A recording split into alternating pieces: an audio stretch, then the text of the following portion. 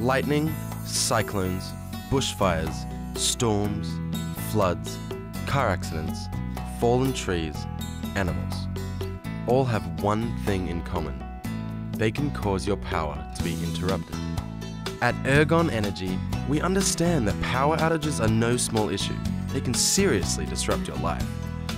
This is why we do everything we can to protect our network from outages and minimize their duration.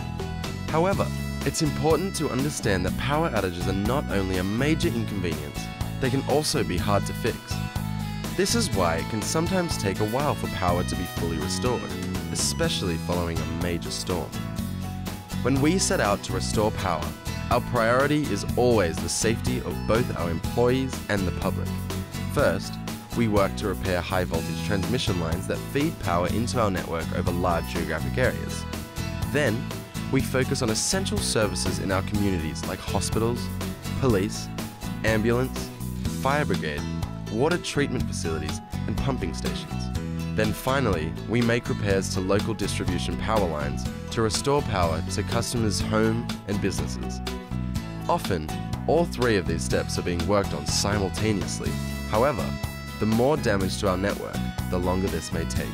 Remember, in the event of a power outage, call us on 13 22 96 and stay safe.